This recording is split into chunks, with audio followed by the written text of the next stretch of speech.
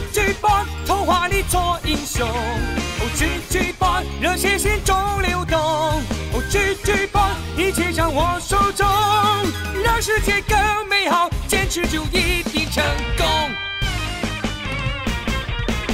嘿嘿嘿，不要小看大肚腩，说到勇敢，说到机灵，他是一级棒。喂，别在他面前逞强，所有左耳分子一旦见到他，闪一旁。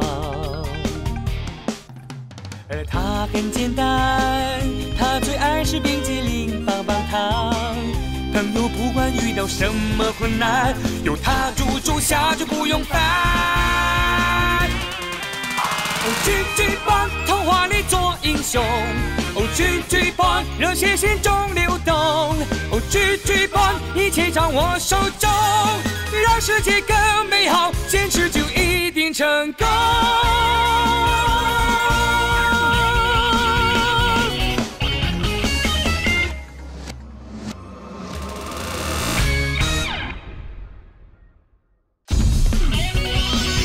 青蛙被诅咒的王子下，那个就是贝奇公主的爸爸吧？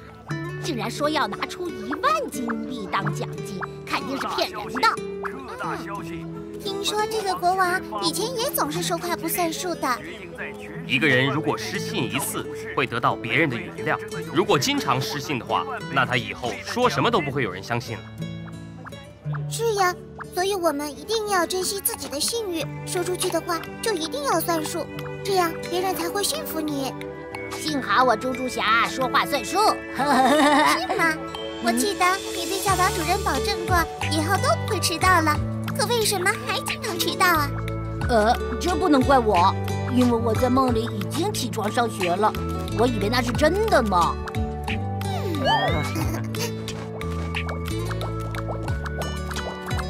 特大消息！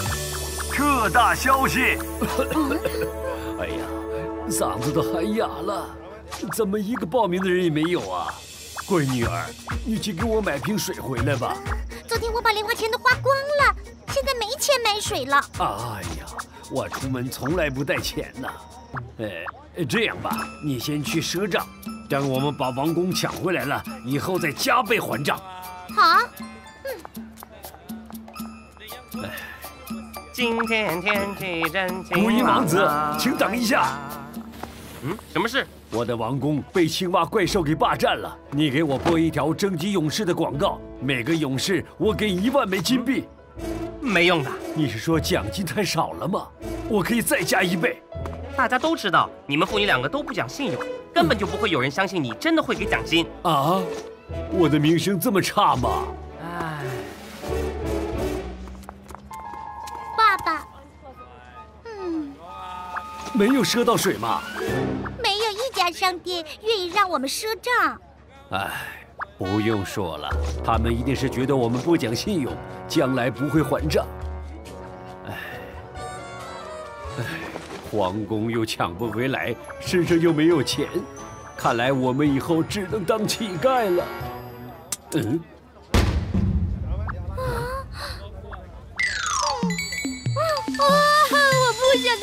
乞丐，我以后一定要说话算数啊！北极公主，你别哭，我帮你们把王宫抢回来。啊，大太，今天我就让大家看看，我大太不是最差的学生。哎，你在我们走投无路的时候出手相助，真是太让我感动了。哎呀，哎呀，疼死我了！不好意思，我以前都是抱大树的，今天第一次和人拥抱，不知道该用多大的力气了。呃，没问题，你这么强壮，打败青蛙一定没问题。我们快走吧。好，你们带路吧。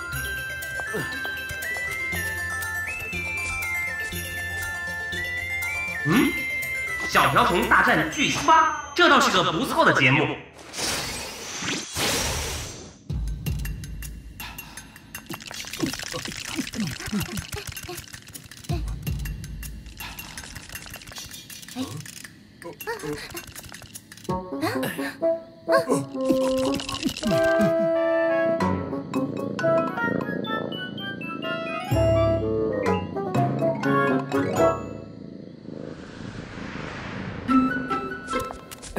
看到了吧，就是那只青蛙霸占了我的王宫。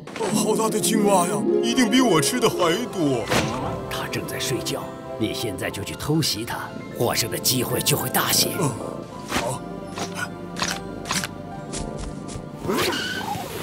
追过去！各位观众，我现在位于黄金国的王宫前，一只恐怖的大青蛙霸占了王宫，而春光学院的大太同学正准备对青蛙发起偷袭。请问大太同学，你对这次偷袭有多大的把握？现在一点儿把握也没有，为什么呢？因为你已经把青蛙吵醒了。现场情况真是风云变幻，不经意间，青蛙已经苏醒，大赛偷袭计划彻底失败。通过双方选手的体型可以断定，这绝对是一场鸡蛋和石头的较量。好了，现在我把时间留给现场的两位选手，请大家瞪大眼睛，看看大赛同学究竟会怎样应付这一局面呢？呃，你的肌肉不错呀，是在哪个健身房锻炼的？有没有好教练介绍一下呀？呃。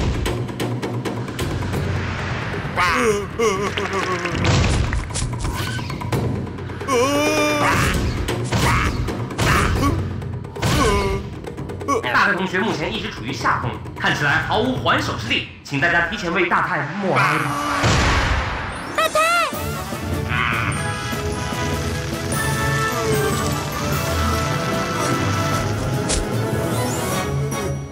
不要以为只有你有力气，嘿！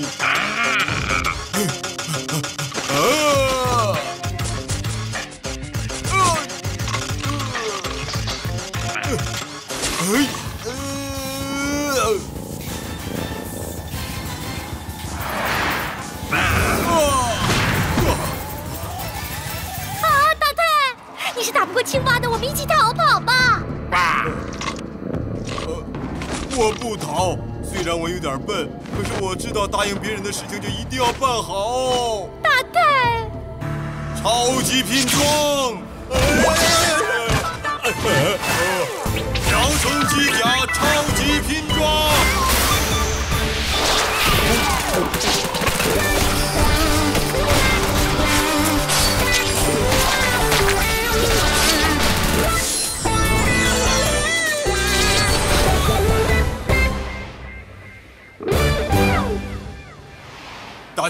让你尝尝瓢虫机甲的厉害！嘿！大太终于发飙了，他驾驶瓢虫机甲冲向了大青蛙，他要在今天证明自己的实力，他要在今天创造奇迹。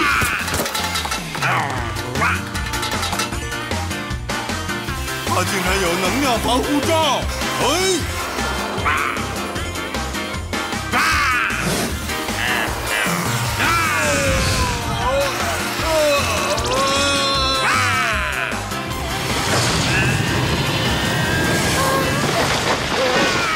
拆我的王宫啊！大太，好厉害的大青蛙呀！哦，我说过，我的瓢虫机甲是很厉害的。蜜蜂浮游炮，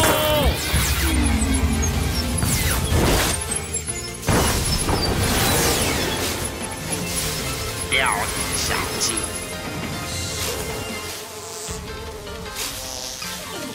来吧！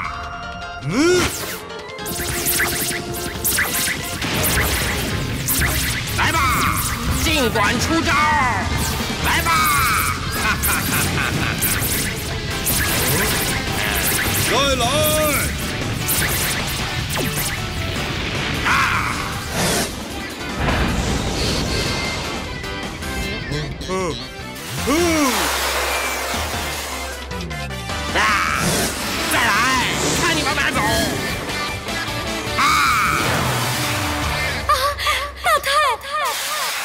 我要实现承诺，看我的厉害！我要出绝招了，答应别人的事一定要办好的。嘿你想干嘛？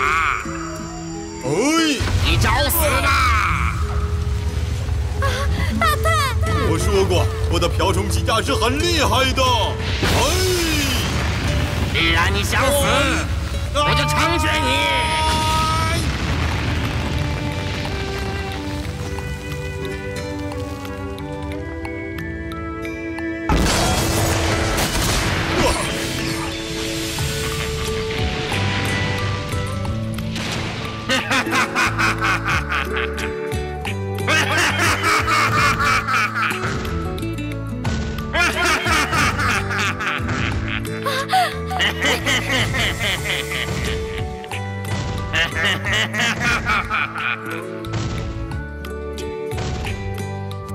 求你停手吧！是我当初答应和你做好朋友，却说话不算数。现在我知道错了，让我们重新做好朋友吧。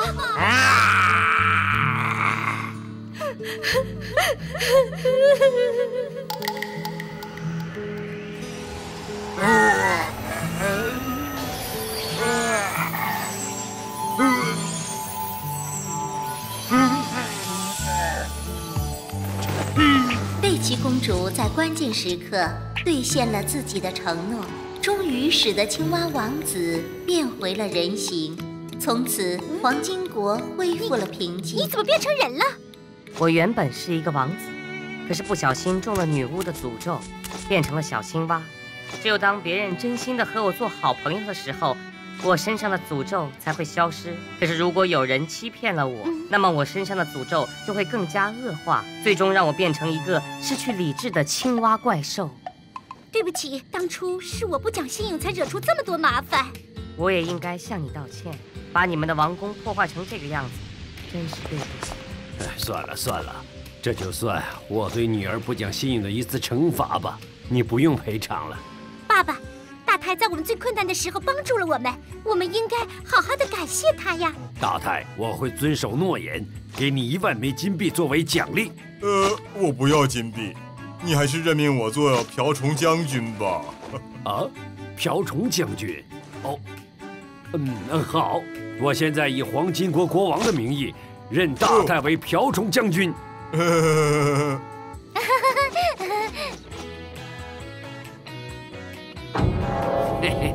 没想到这个大太爷有两下子，头脑简单的人比较好控制。看来要找个机会把他收复过来。然而，依依爷爷留下的一个超级元件，又引发了一场新的风波。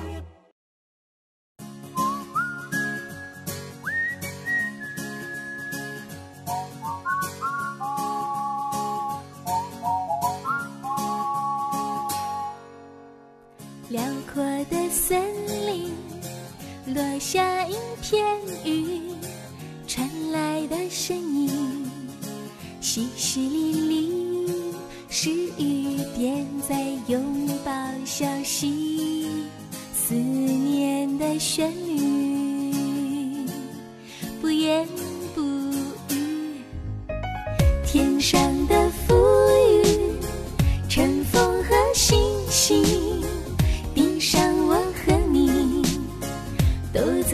听，